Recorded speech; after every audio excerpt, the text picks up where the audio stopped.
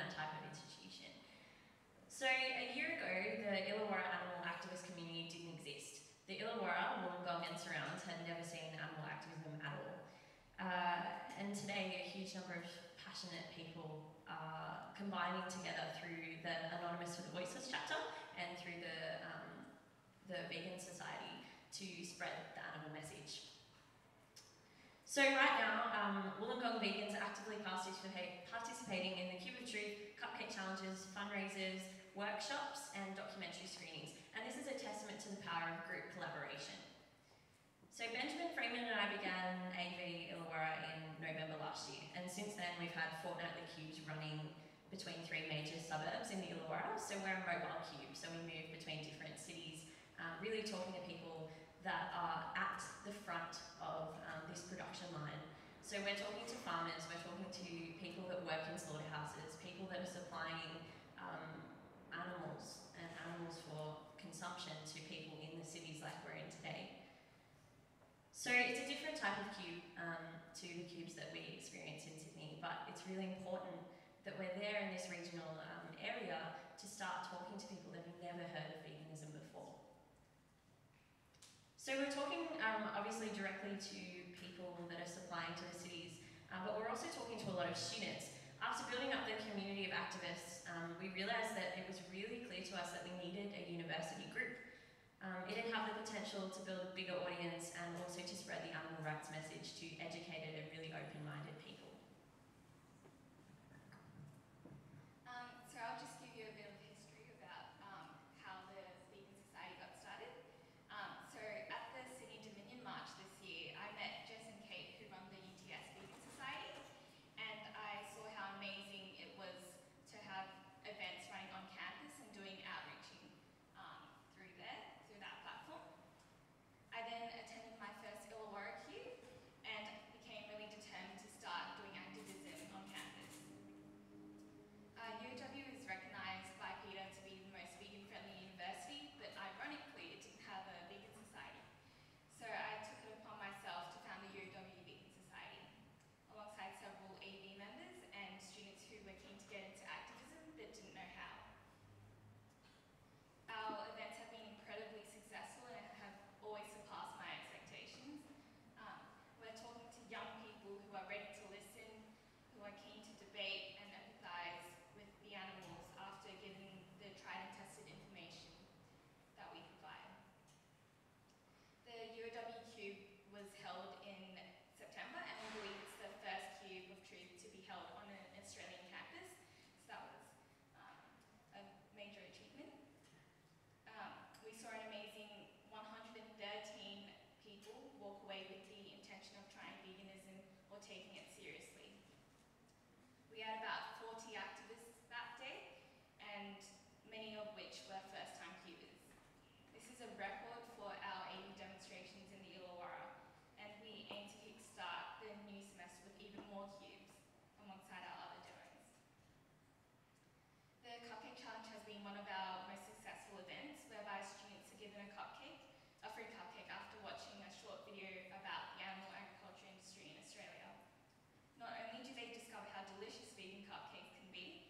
de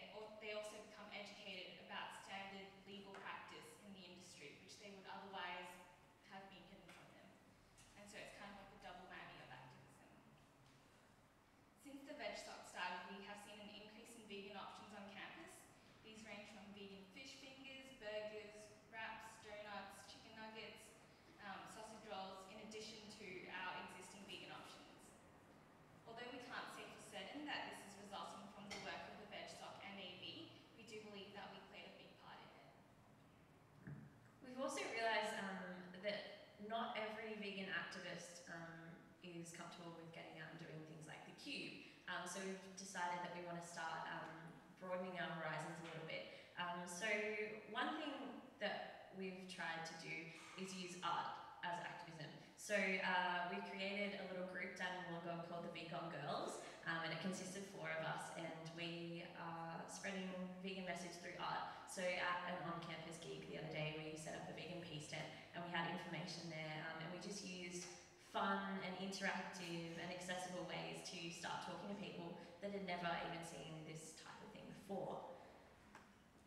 Um, so yeah, we're reaching out through social media as well, um, and this has also seen the rise in lots of different girls in the Illawarra starting their own um, vegan activism groups and things like that. In the academic world in uh, at UOW, we've got the Animal Studies Journal, which has just been kickstarted. So this is happening in academia. We're starting to talk to lecturers about how they can start um, initiating conversations about animal rights within the academic sphere. So animal studies is starting to become um, a really relevant topic, um, especially within law, humanities and the arts. So we're getting teachers to start talking about these things in their degree, in their teaching, which is really important because then it comes from an authoritative figure. So we've got an email template that we send out to lecturers, and usually they're really receptive, and they'll actually send out information to the whole cohort. So if anybody's interested in that, I mean, if you go to university and you'd like to um, start contacting your lecturers and starting to get them to speak for the animals as well, come and see us after that. We also hold some workshops in Illawarra. So this is to upskill um, UOW students and other activists in the area um, in their knowledge. So the last one we held was about aquaculture and marine fishing. Um, and we actually invited uh, a, a, professor in the area um, of, of fish cognition, and she came and chatted with us about um, the intelligence of fish and um, marine animals. Um, and that really was a fantastic way of opening the conversation. We got quite a lot of activists there, um, and it was really great in upskilling us, and it gave us some scientific knowledge behind the, the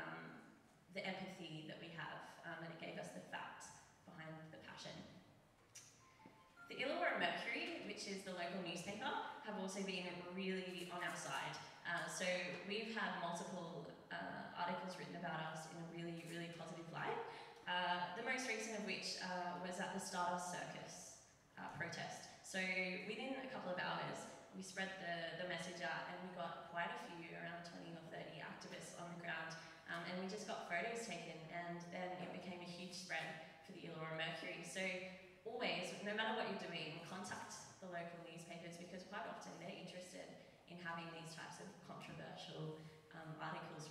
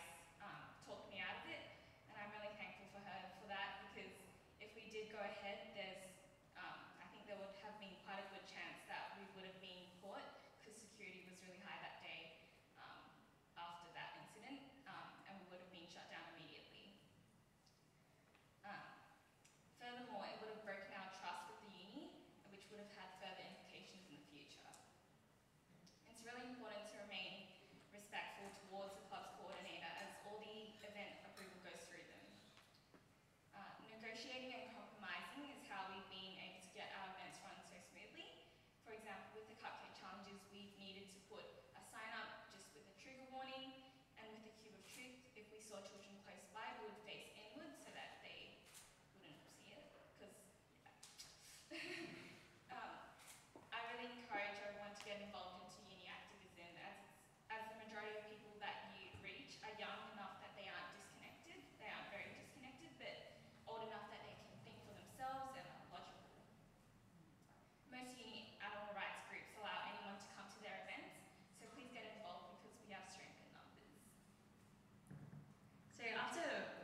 AV with the Vegan Society, we've noticed that activists are uh, crossing between the two groups, and it's really fantastic. And we've seen the development of both groups rise um, with each other. So the power of collaboration is huge, and make sure that there's different types of activism going on in the cities that you're from, um, because it really um, broadens the scope of what we can do for the animals.